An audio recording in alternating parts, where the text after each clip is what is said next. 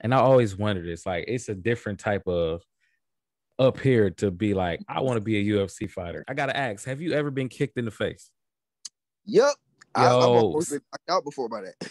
Willie, what made you ask? Has he ever been kicked in the face? I Man, just want to know. because because Bro. every time I watch UFC, I'll be like, yo, I would be mad as hell if somebody kicked me in the face, man. You know what's so funny about that?